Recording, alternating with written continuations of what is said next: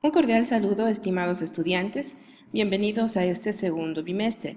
Es un gusto saludarles para conversar junto a ustedes acerca de uno de los temas de este segundo bimestre que se relaciona a la investigación de la opinión pública. Seguramente dentro del foro que ustedes ya estarán contestando, ustedes ya podrán dar algunos de los puntos de vista en torno al tema de las encuestas y al manejo de estas como una de las herramientas para investigar la opinión pública. Y es que cada vez es más frecuente que nos encontremos con titulares de este tipo en los diarios, en los noticieros de radio y de televisión, en las páginas de Internet, que nos hablan de las encuestas especialmente en época electoral. En Ecuador nosotros estamos a poquísimos meses, a, pocos, a pocas semanas de elegir un nuevo mandatario y obviamente los titulares de los periódicos estarán copados o estarán llenos de información de este tipo, de cómo van las encuestas, cómo va la intención de voto en el Ecuador según recientes encuestas. Ustedes pueden fijarse en los titulares de los distintos diarios nacionales, de los diarios locales, de los noticieros, cómo se está mostrando la información que proviene de encuestas y cómo a través de ellas se intenta informar a la gente sobre el clima de opinión que se vive en torno a ese tema.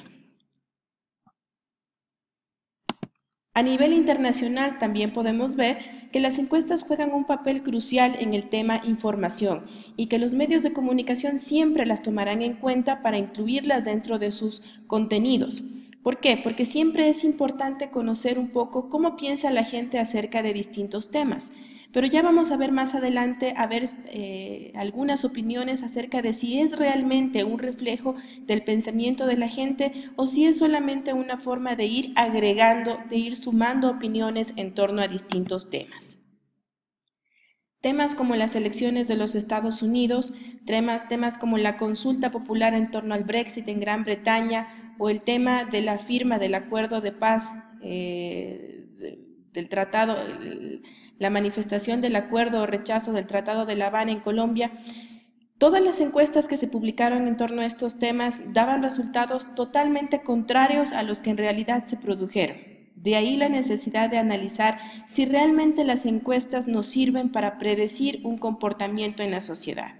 En Estados Unidos, la mayor cantidad de encuestas decían que el triunfo lo tenía Hillary Clinton. Después vimos que la realidad fue totalmente distinta. En el tema del Brexit, se suponía que ganaba el no, es decir, la no separación de Gran Bretaña de la Unión Europea y al final ganó el sí. Y en Colombia el tema del acuerdo por la paz terminó en una negativa mayoritaria que no estaba de acuerdo en los términos en los que se había negociado en La Habana la posibilidad de, firmar una paz entre el gobierno colombiano y uno de los grupos guerrilleros del país. Hay que tomar en cuenta que las encuestas constituyen una valiosísima herramienta de información ¿sí? Los políticos, los medios de comunicación y los mismos ciudadanos le damos una gran importancia a las encuestas. ¿Por qué? Primero, porque el origen de las encuestas toma en cuenta que éstas constituyen una herramienta que sirve para acercar al ciudadano, al gobernado, a su gobernante. Es una forma de decirle al, gobernante, esto es lo que el pueblo necesita, esto es lo que la gente requiere que se haga y de alguna manera los políticos gobiernan de acuerdo a las encuestas, evitando asuntos que los hacen impopulares. Por otra parte, se considera que el voto constituye una prolongación de las encuestas. Es decir, es una forma de matizar, es una forma de reflejar, de cristalizar cómo piensa la gente en torno a distintos temas, pero de una forma más formal. Ahora, ¿cuál es el peligro de tener a las encuestas como esta herramienta clave, de, regirnos solamente en torno a lo que dicen las encuestas, en tomar a las encuestas demasiado en serio? El primer riesgo es reducir a la opinión pública a una simple suma de actitudes y de respuestas. ¿sí? La opinión pública no es simplemente sumar mayorías a favor o en contra de un tema. La opinión pública constituye el ejercicio de debate, de confrontación que existen entre las distintas opiniones para llegar a un consenso. Si solamente hablamos de mayorías, estamos reduciendo a la opinión pública a simplemente sumar opciones a simplemente sumar actitudes y respuestas en torno a un tema, pero estamos dejando de lado a las minorías, es decir, a quienes no conformaron una mayoría. Por eso hablamos de la opinión pública como el proceso de debate. Segundo, son una especie de simulación del voto, ¿sí? una especie de metáfora de las elecciones, pero no es lo mismo. ¿sí? Hay que tomar en cuenta una cosa muy, muy puntual. Las encuestas no constituyen una bola de cristal que nos permiten vaticinar el futuro. No constituyen una herramienta que nos permite adivinar qué es lo que va a suceder en un futuro próximo. Ni siquiera en las elecciones. Ya hemos visto cómo las encuestas han tenido sus fracasos rotundos. Las encuestas constituyen una fotografía del momento. ¿sí? Es decir, una herramienta que nos permite conocer cómo está el clima de opinión en un momento determinado, pero ese momento determinado puede variar en cuestión de días, en cuestión de semanas, y por esa razón no podemos decir que una intención de voto que se manifiesta hoy y que lo revelamos a través de las encuestas pueda repetirse o pueda ser igual dentro de dos o tres meses. ¿sí? Por eso las encuestas, especialmente en tiempo de elecciones, se hacen periódicamente porque este mismo clima de opinión va variando. ¿De qué depende esa variación? Depende de múltiples factores. ¿sí? Depende de cuestiones coyunturales. Por ejemplo, si en este momento sucede un terremoto y el principal protagonista en el levantamiento, un nuevo terremoto, ¿no? Y el principal protagonista en el levantamiento, en el rescate, en las actividades de ayuda, de apoyo y, y todo lo demás, si el principal protagonista es el gobierno y se suman a eso los candidatos de gobierno, muy probablemente el clima de opinión se manifieste a favor del candidato de gobierno.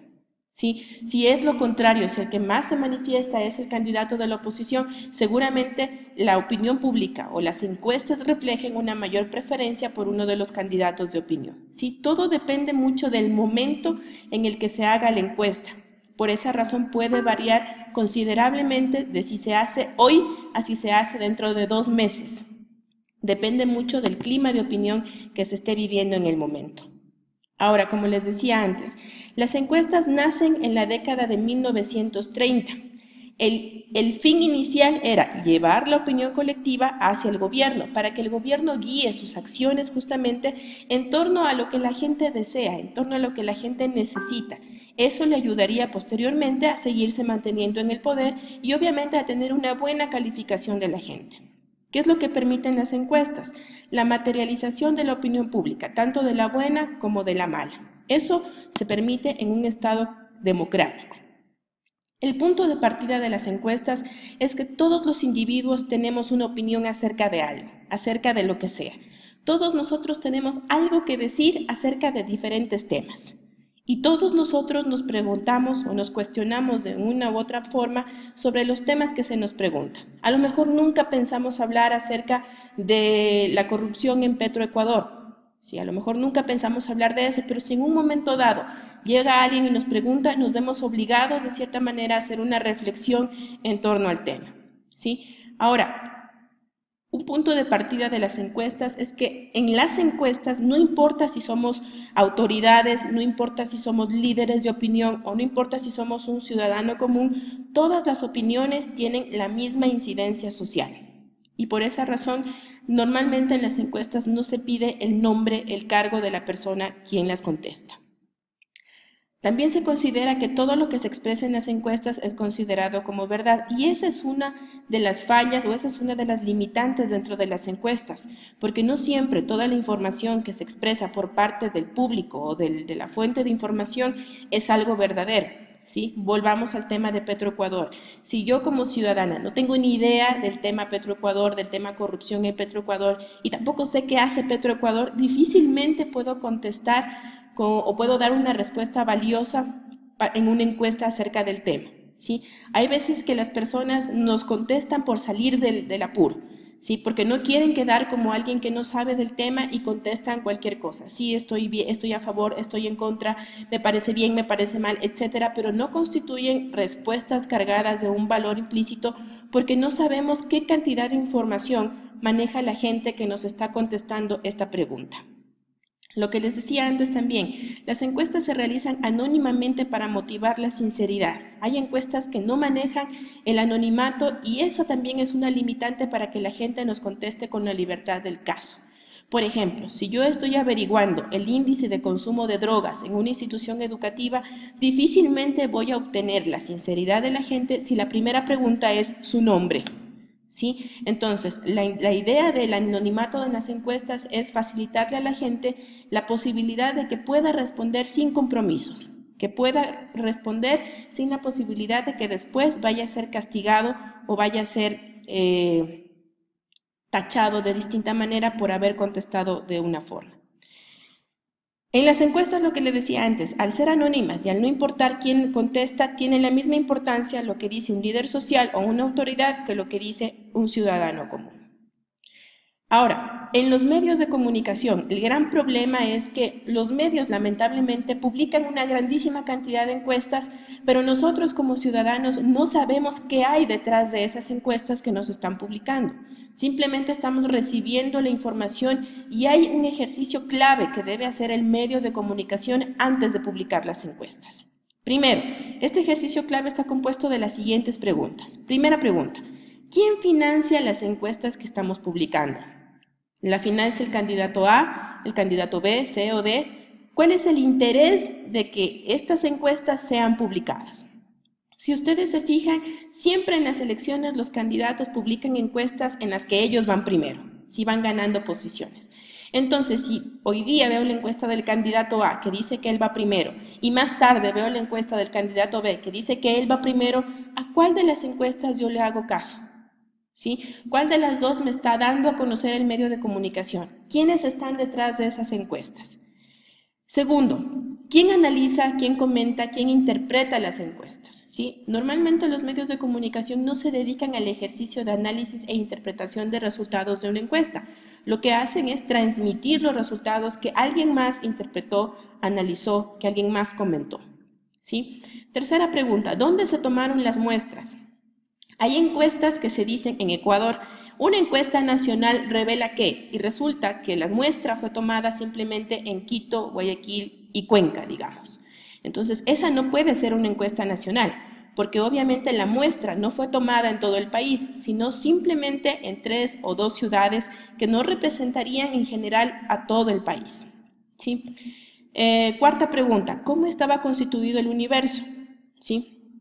Es decir, eh, hay personas de qué clase social, de qué sectores son, en dónde están ubicados. Eh, son personas mayores de edad, son eh, personas empleadas, desempleadas, son amas de casa, son hombres, son, son mujeres, etc. Hay que establecer una diferencia entre el no sabe y no contesta, que normalmente se ubica en la misma opción de pregunta. Una cosa es que nosotros desconozcamos un tema y otra cosa es que no querramos hablar acerca del tema. ¿sí? Otro punto a tomar en cuenta son los puntos de muestreo y dispersión de la muestra que va en relación a la anterior en la que decíamos quiénes, quiénes conforman la muestra, hombres, mujeres, de qué edad, de qué estrato social, ubicados en dónde, etcétera, etcétera. Otro punto, el contexto temporal de las entrevistas. Esto ya les había mencionado antes. No es lo mismo lo que piensa un ciudadano hoy a lo que va a pensar seguramente el día de las elecciones, o dentro de una semana, o dentro de tres semanas porque normalmente el clima de opinión nos obliga también a cambiar o a variar un poco la elección que vamos a hacer en las encuestas, especialmente si formamos de ese público tan difícil que se llama indecisos.